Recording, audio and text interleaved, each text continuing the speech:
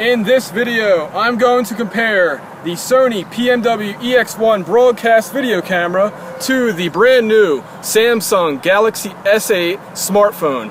Will this 6300 hour camera look better than this $750 smartphone? Or should I say vice versa? Well, we're gonna find out together.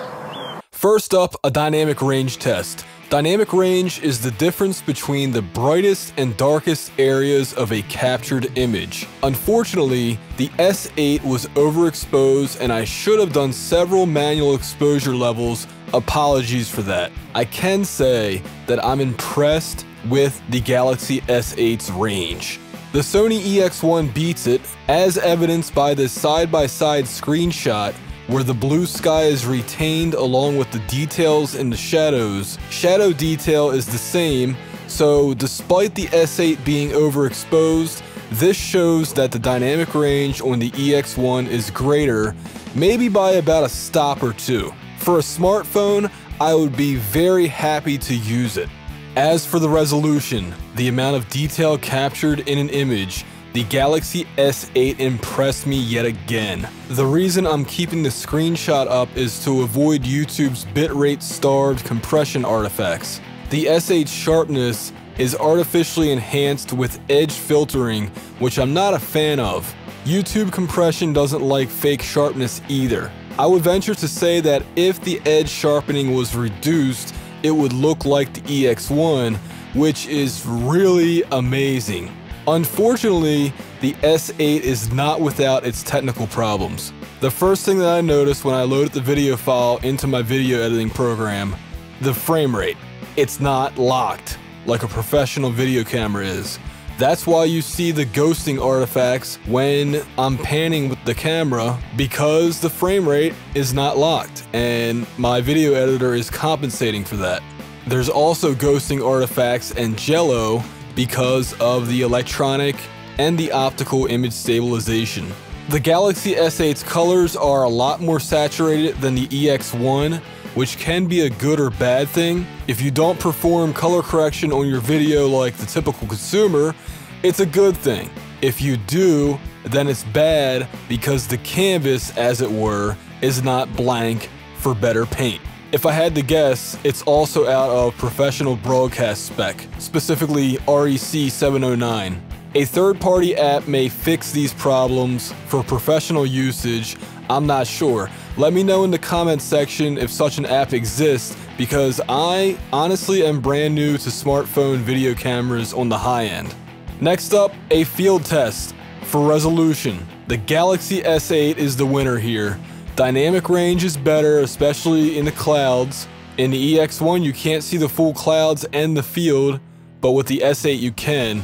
So I don't know if the phone's dynamic range kicked in, like the HDR option. I'm not sure what happened there. I don't know why the dynamic range was better here and not at the park, but whatever. The Sony white balance was more natural, more realistic, but that's because I manually white balanced it, and the S8 was automatic white balance. The Sony EX1 also appears noisier despite the gain setting being at 0 decibels. The 100% crop of 2160p video also looked pretty good. I doubt it is truly 2160 vertical lines of resolution, but it isn't a complete waste of data to shoot in that mode either. If the camera sensor and lens can truly capture over 2000 pixels of resolution, the bitrate starvation kills the details with blurring and pixelation, sadly enough. Either way though, the S8's resolution is impressive in Full HD 1080p mode or 2160p 4K mode. At 1080p, you can see more individual blades of grass up close, although that may have been because the EX1's focus was set to infinity. To check this, I recorded some additional footage the following day to see how good manually focused grass could look with the EX1. Again, I'm using screen grabs because YouTube's video compression will destroy the footage if I don't. Despite recording more footage, the S8 is still the winner even with detail enhancement turned up on the Sony EX1. That to me is absolutely crazy. I would estimate that the S8 is equivalent somewhere between the Sony's plus 10 and plus 20 detail setting. I also tried post-process sharpness to enhance my standard negative 5 detail setting, but it did not measure up to the S8. The final test was a video codec compression test, water, blowing leaves, and a gradient skyline, such as one of those at sunset or sunrise, are some of the toughest things for a video compressor to handle. I was shocked by how nice the water looked on the S8. The skyline exhibited macro blocking, but it really makes me wonder if turning sharpening down would eliminate the problem. Look, I was not attempting to make the EX1 look bad. In fact, I wanted it to be the clear winner because I did spend 60 300 hours on the camera. But the reality is that the smaller 2017 sensor and lens beat the 2007 era sensor and bigger lens. That is crazy. Now the question remains, could the Sony EX1 do better if I captured off the HD SDI output to a newer video codec instead of the built-in MPEG-2 compression? I don't know. Maybe. However, I would still prefer to shoot with the EX1 despite the resolution loss for various reasons.